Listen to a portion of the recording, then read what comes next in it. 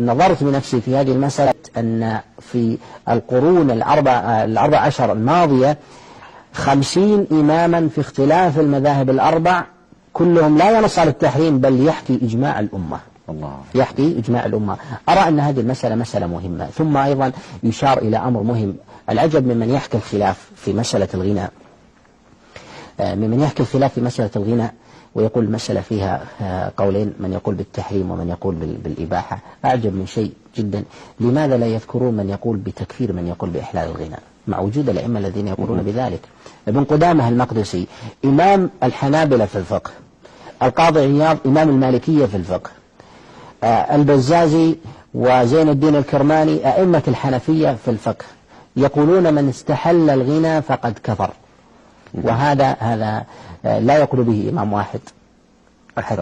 أكثر من شخص. ومتباينون أيضا ما يدل على أن المسألة وصلت درجة من من درجات درجات الوضوح آه، لدى هؤلاء الأئمة.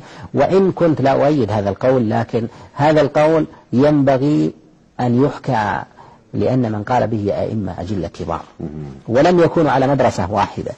من المدارس. منهم أهل الرأي ومنهم من منهم أقرب الناس مثلا إلى الدليل والظاهر والأخذ بظواهر الأدلة كابن قدامة وغيره لأن الحنابلة آه، آه، من من من علاماتهم أنهم يأخذون بظواهر الأدلة. كذلك المالكية من من يكثرون من الأخذ بسد الذرائع وكذلك المصالح المرسلة ونحوها.